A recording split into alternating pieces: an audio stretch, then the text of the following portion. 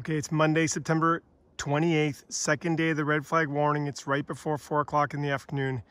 You're right here on State Route 36 between Lower Rattlesnake and Rattlesnake Creeks here. You can see the fire activity has calmed down significantly, at least in this portion of the fire. It's now a backing fire coming down the hillside. There's the sun obscured. You can see here, though, not a whole lot of activity in the basin. It's just going to back down slowly and then eventually this will become the fire line right here. So at least in this area right here, a good backing fire is actually a benefit right now. Of course, there could be some ember loft.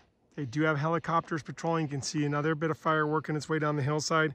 But in some way, shape, or form, the fire has to come off the mountain and down a containment line. That's the challenge of these super dry summers in California, is that you get a situation where once you have lightning strikes high up in the mountain and they grow and they move, then they have to be brought to a ridge, road, or some sort of containment feature.